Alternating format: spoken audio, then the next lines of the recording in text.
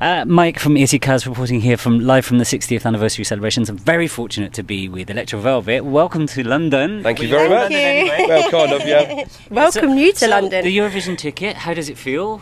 Phenomenal. Uh, we're incredibly upbeat about it. We're really Yeah. proud, humbled, looking forward to it. yeah, just can't wait. And, and how are you finding working together? Because you, you hadn't really worked together beforehand. We, we've done bits and pieces together, so uh, I don't think you hate me yet, do you? Not no. No, it's all love. Yeah, No, absolutely. We, we, no, we kind get on of one of those things where you meet someone and you get along straight away. So we're really lucky that that we're friends. And tell me, how did the song come, come about? I mean, tell me some things about that. Who's composing it? Who's, who's behind it all? Um, we have a mutual friend called David Mindel who Okay. we were looking to do some songs together anyway, Mm-hmm. and he suggested this song to us, and we absolutely loved the song. And he said he was going to enter it into Eurovision, so we're like even Wow. better. Okay. And uh, it was an open selection process, Yeah. so we entered our video, and and now we're Now here, you're and here. we're Yeah. just Yeah. over the moon. It's been a whirlwind.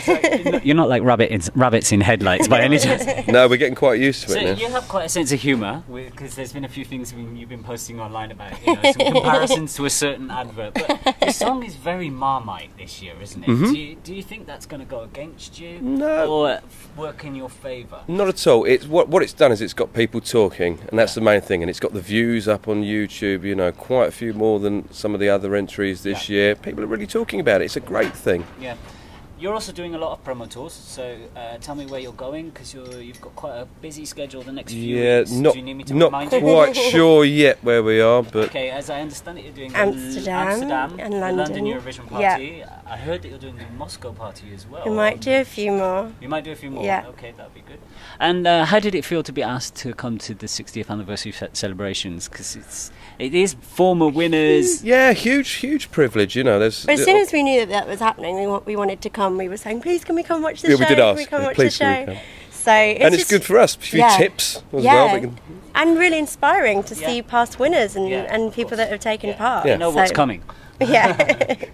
Okay, pressure is on. See, It's eight, 18 years since the UK wa- last Yeah, one. Does that feel pressured? I wasn't even born then. all we Please. know is Well, maybe I was. 19 years, maybe. Okay. yeah.